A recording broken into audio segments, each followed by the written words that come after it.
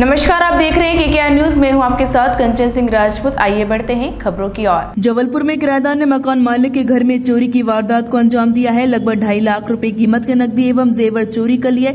करीब दो महीने पहले हुई चोरी का लाटगंज थाना पुलिस ने खुलासा करते हुए किराएदार को गिरफ़्तार कर लिया है, जिसके कब्जे ऐसी लगभग एक लाख पाँच हज़ार रूपए नकद एवं अस्सी हज़ार रूपए कीमत के जेवर बरामद कर लिए हैं। जानकारी के मुताबिक सत्ताईस सितंबर को लाटगंज थाना अंतर्गत गड़ा फाटक निवासी अड़सठ वर्षीय उमा देवी ने शिकायत दर्ज कराई थी कि वे अपने घर में अकेली रहती है। उनके घर में सिर्फ़ काम वाली बाई का आना जाना है और मकान में एक किरायेदार महिला रहती है।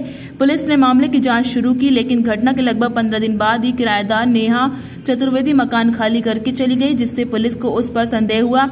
लगातार पतासाजी के दौरान पुलिस ने हाल ही में नेहा को संदेह पर आधार पर हिरासत में लिया है और पूछताछ की तो उसने चोरी करना स्वीकार किया और फिर उसके कब्जे से पुलिस ने अस्सी हज़ार कीमत के जेवर भी बरामद कर लिए। वही नेहा के पास लगभग एक लाख पाँच हज़ार रूपए नकद भी मिले। पुलिस ने नेहा को गिरफ़्तार कर लिया है। जबलपुर से वाजिद खान की रिपोर्ट।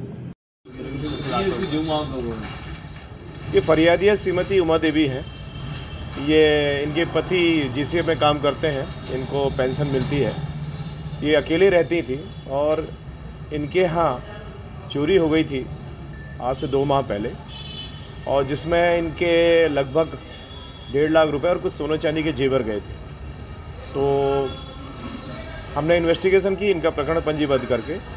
तो इनके पास एक महिला किराएदार रहती थी, श्रीमती रश्मि चतुर्वेदी मिश्रा।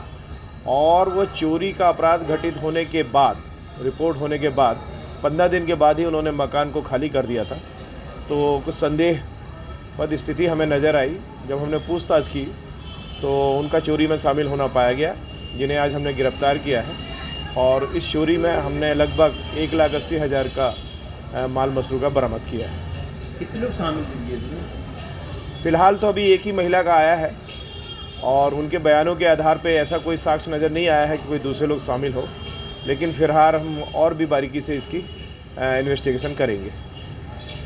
अभी के लिए बस इतना ही। हमारे चैनल में बने रहने के लिए हमारे चैनल को लाइक शेयर एंड सब्सक्राइब करना ना भूलें।